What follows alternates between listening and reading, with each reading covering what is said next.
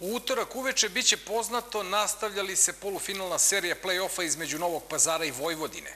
Novosadski crveno-beli maksimalno su iskoristili prednost domaćeg terena, vode sa 2-0, a Novopazarci će pokušati da dobiju dve utakmice pred svojim navijačima i izbore majstoricu. Kapiten odbojkaša Novog pazara Hamza Zatrić veruje da njegova ekipa ima šansu da pobedi Vojvodinu u trećem meču polufinala play-offa, ali pod uslovom da igrači prevaziđu svoje mogućnosti.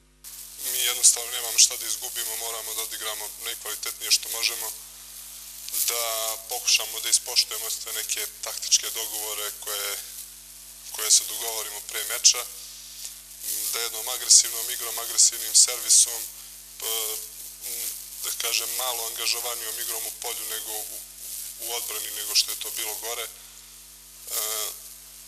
mislim da možemo da iznenadimo ekipu Vojvodine. Vojvodina je dobila prethodne dve utakmice u Novom Sadu, bilo je 3-1 i 3-0 i ima prednost od 2-0 u polufinalnoj seriji na tri pobede, a treći susret na programu je sutra od 18 sati u Novopazarskom pendiku.